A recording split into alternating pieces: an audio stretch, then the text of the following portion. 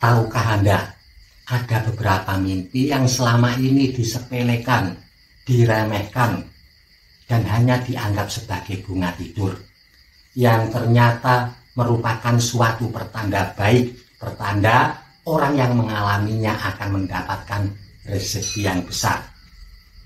Mimpi-mimpi apakah itu? Ikuti terus video ini sampai selesai. Assalamualaikum warahmatullahi wabarakatuh. Wilujeng Rahayu, salam budaya untuk kawan-kawan senusantara di mana pun Anda semua berada. Selamat datang di channel Tafsir Mimpi. Bukan hanya sekedar bunga tidur, 12 mimpi sepele ini ternyata pertanda akan mendapat rezeki besar Mimpi-mimpi ini merupakan mimpi yang sering kita alami, berkaitan dengan kehidupan kita sehari-hari. Seringkali dianggap sepele bahkan diremehkan bagi orang yang mengalaminya. Yang tanpa kita sadari ternyata merupakan suatu pertanda baik, pertanda akan datangnya rezeki besar yang bisa kita dapatkan.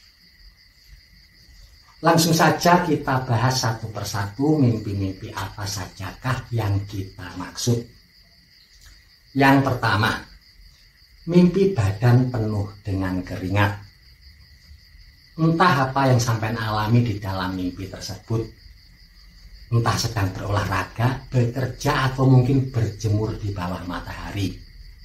Dan di mimpi itu, sampai merasa badan penuh dengan keringat ini terlihat sepele, tetapi ternyata yang mengalaminya akan mendapatkan suatu rezeki yang besar dan juga pertanda akan mendapatkan kebahagiaan hidup. Lalu yang kedua, mimpi diterpa angin sepoi-sepoi. Ketika sampean bermimpi berada di pegunungan ataupun di tempat-tempat lain yang teduh Lalu ada angin sepoi-sepoi yang menerpa wajah sampean. Mimpi ini merupakan suatu pertanda yang baik orang yang mengalaminya akan mendapatkan kesenangan ataupun rezeki yang besar. Lalu yang ketiga, mimpi melihat hujan gerimis. Selama ini ketika kita bermimpi terkena hujan dianggap sebagai suatu pertanda orang tersebut akan sakit. Tetapi lain ceritanya ketika di mimpi tersebut Anda hanya melihat hujan gerimis atau hujan rintik-rintik. Ingat, hanya melihat tidak terkena hujannya. Jika mimpi seperti ini yang sampean alami, ini merupakan suatu pertanda baik. Apa yang sampean rencanakan akan mengalami keberhasilan.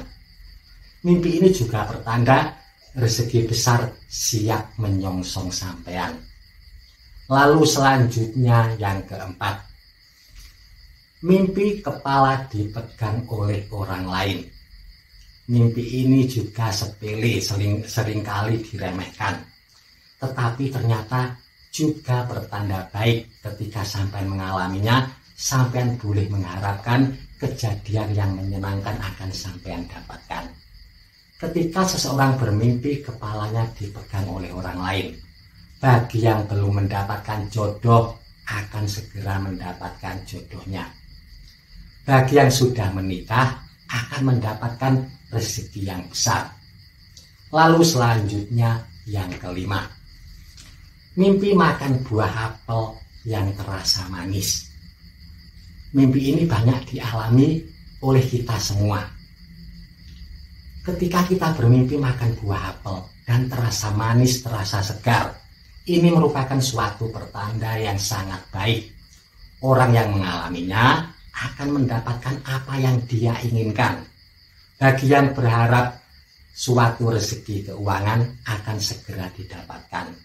Bagi yang mengharapkan momongan, bagi yang belum memiliki momongan, maka akan segera mendapatkan momongan.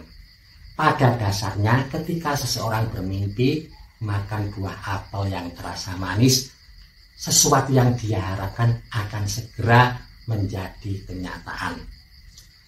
Lalu selanjutnya yang keenam. Mimpi berada di jalan yang datar dan lurus. Mimpi ini pertanda yang sangat baik siapa pun yang mengalaminya akan dipermudah segala hajatnya, akan dipermudah segala rencananya. Rezekinya akan lancar dalam jangka waktu yang panjang. Lalu selanjutnya yang ketujuh. Mimpi bisa terbang mimpi ini terkesan seperti mimpinya anak-anak. Tetapi ternyata ini mimpi pertanda yang sangat baik. Siapa pun yang mengalaminya akan terlepas dari kesulitan. Yang sedang mengalami kesulitan keuangan, maka akan segera mendapatkan kemudahan, akan mendapatkan rezeki yang besar. Begitu pula bagi yang mengalami kesulitan di dalam hal-hal yang lain, akan segera mendapatkan solusi yang terbaik. Lalu selanjutnya yang kedelapan. Mimpi berada di tempat yang tinggi. Ketika Anda bermimpi berada di tempat yang tinggi, entah itu di gunung, atau di puncak bukit, atau bahkan di gedung pencakar langit. Dan Anda bisa memandang luas ke segala arah, pandangan sampean terasa bebas ini merupakan suatu pertanda yang sangat baik. Segala rencana sampean akan dipermudah. Sampean akan mendapatkan kedudukan yang tinggi. Dan tentunya ini juga pertanda seseorang akan mendapatkan rezeki yang besar. Lalu selanjutnya yang kesembilan. Mimpi mendapatkan anak hewan. Mimpi ini juga sering disepelekan ketika seseorang bermimpi mendapatkan anak hewan, entah itu anak kucing, anak burung, anak ayam, ataupun anak bebek, atau hewan-hewan yang lain, hewan-hewan jinak. Mimpi ini merupakan mimpi yang dahsyat di dalam rezeki. Siapa pun yang mengalaminya di dalam waktu dekat akan mendapatkan rezeki yang besar. Lalu selanjutnya yang ke-10. Mimpi melihat pohon berbuah lebat mimpi ini terkesan biasa-biasa saja dan sering kali juga diremehkan.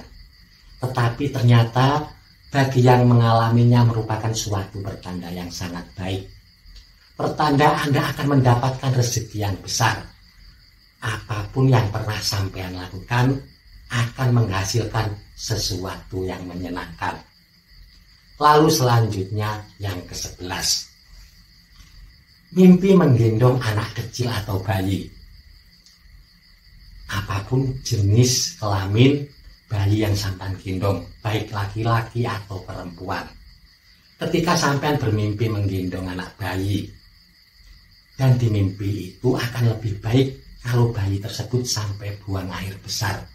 Mimpi ini merupakan suatu pertanda yang sangat baik. Siapa pun yang mengalaminya akan mendapatkan kebahagiaan atau rezeki yang besar. Lalu selanjutnya yang ke-12. Mimpi naik kuda. Mimpi ini juga pertanda yang sangat baik. Kuda di dalam mimpi merupakan pertanda kejayaan. Kalau Anda bermimpi naik kuda, Anda akan menaiki kejayaan, mendapatkan kejayaan dan kemuliaan di dalam hidup Anda.